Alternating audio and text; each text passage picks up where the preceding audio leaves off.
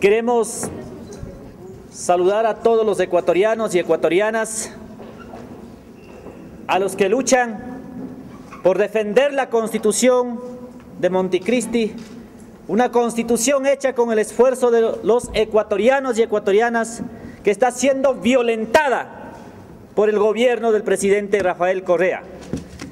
Queremos saludar a los trabajadores y trabajadoras del país. Queremos saludar a los hombres y mujeres que defienden los derechos de la libertad de expresión, de la libertad de opinión que corresponde a los ciudadanos y ciudadanas del Ecuador. Con esto,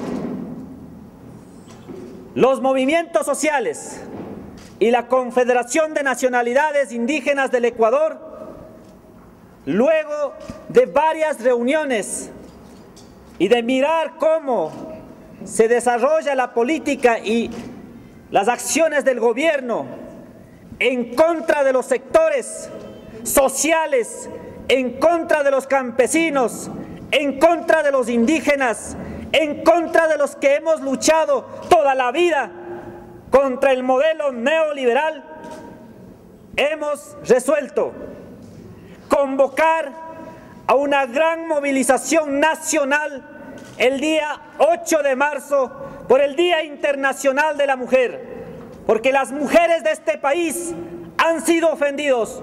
Los pueblos indígenas hemos sido enjuiciados, acusados de terroristas.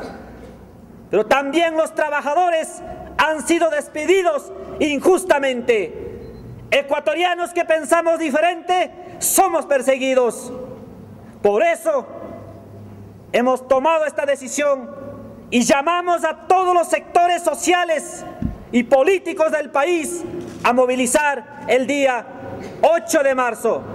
El 8 de marzo será solamente un inicio, pero convocamos a todos los ecuatorianos y ecuatorianas para el día 22 de marzo vamos a llegar con la marcha recorriendo todo el país a la ciudad de Quito para exigir que se apruebe la ley de aguas, para que exigir que en la Asamblea Nacional se apruebe una nueva ley de revolución agraria y que dé paso a la redistribución de las tierras para que no cobren más impuestos a los ecuatorianos y ecuatorianas y para detener todo este atropello que hemos sido objeto los ecuatorianos y ecuatorianas.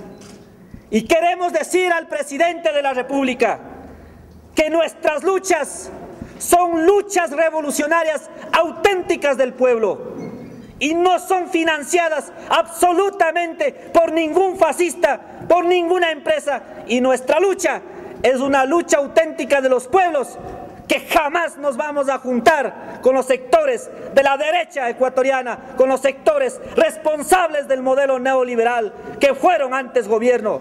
Jamás nosotros como movimiento indígena y sectores sociales vamos a juntarnos. Organizaciones sociales reunidas el 15 de enero en Zamora, donde se decretó de que todos los sectores sociales, las organizaciones, nos movilicemos hacia Quito, en defensa de los recursos naturales, en defensa de los recursos de todos los ecuatorianos, en contra de que se explote nuestro petróleo, en contra de que se explote la minería. Por esa razón, el día 8, las organizaciones sociales del Frente Popular, la CONAIE y varias organizaciones nos movilizaremos en todo el país. Eso irá de la mano de varias movilizaciones en el trayecto de la caminata de los compañeros desde Zamora hacia Quito que llegará el día 22. El día 15 habrá la movilización de los estudiantes secundarios y universitarios por defensa del libre ingreso Habrá la movilización de los compañeros comerciantes minoristas por la exigencia de las reformas de la ley de los trabajadores autónomos y habrá un sinnúmero de acciones a nivel nacional. Es por eso que hoy le decimos al gobierno nacional que las organizaciones sociales estamos luchando por la vida, estamos luchando por un país diferente. Queremos decirle al presidente que deje de hacerse la víctima, que no es la primera vez que dice que se trata de desestabilizar al gobierno. Nosotros creemos que Simplemente estamos luchando en contra de la aplicación de políticas que están afectando a todos los ecuatorianos. Estamos en contra de que se despida más de cuatro mil trabajadores con el pretexto de las compras de renuncias. Estamos en contra de que se siga criminalizando la lucha social en el país y que se siga encarcelando y se siga expulsando a trabajadores y dirigentes sociales de sus puestos por simplemente pertenecer a organizaciones sociales. Que se siga criminalizando la lucha de los dirigentes indígenas por la defensa del agua y de las minas en las diferentes provincias del país. Creemos que eso hay que ponerle un alto y por esa razón hoy convocamos a todos los sectores, a todas nuestras organizaciones a que el día 8 empecemos la gran caminata nacional desde Zamora hacia Quito y en todas las provincias del país realicemos acciones que permitan empezar toda la jornada para el 22 de marzo llegar hacia Quito e inundar Quito todas las personas que estemos en contra del gobierno nacional. El 24 de este mes, los estudiantes universitarios se movilizarán por el derecho a libre ingreso. El 29 de febrero, la Federación de Afiliados al Seguro Social Campesino por el derecho a la seguridad social. El primero de marzo, la Federación de Comerciantes Minoristas del Ecuador por el derecho al trabajo. El 15 de marzo, los estudiantes secundarios por el derecho a libre ingreso a las universidades y las organizaciones sociales y populares de Pichincha y de la ciudad de Quito estamos preparando el ingreso de la Marcha Nacional de los Pueblos Indígenas, de ambientalistas, de organizaciones de derechos humanos y otros sectores para que lleguen a Quito. Y lamento en que siga diciendo que nosotros los indígenas, los campesinos, los perjudicados en el país, estamos tratando de desestabilizar este gobierno. Que quede bien claro, la desestabilización ha hecho al movimiento indígena, al movimiento organizado, a las organizaciones históricas, pero no nosotros. Nosotros siempre estamos luchando pacíficamente por la vivencia del movimiento indígena, por los movimientos sociales, por las ecuatorianas y ecuatorianas, defendiendo esos derechos. Eso, ese derecho a la salud, ese derecho a la tierra, a la Pachamama, esa defensa al medio ambiente, a los recursos naturales. Nosotros no queremos tener en el país desierto.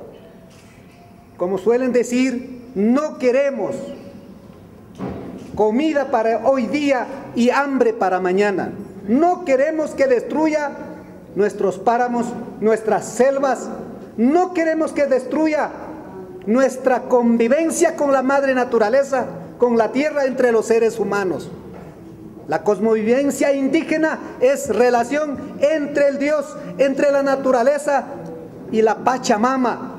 ¿Cómo podemos permitir que lo destruyan para servirle a las multinacionales? Esto es lo que queremos rechazarlos. Queremos expresar nuestro rechazo a los anuncios de contramarchas por parte del presidente de la República y señalar responsabilizándole de los acontecimientos que se presenten producto de su autoritarismo, de su prepotencia y de su incapacidad de dirigir un país a través de recibir las opiniones de distintos sectores del pueblo del Ecuador.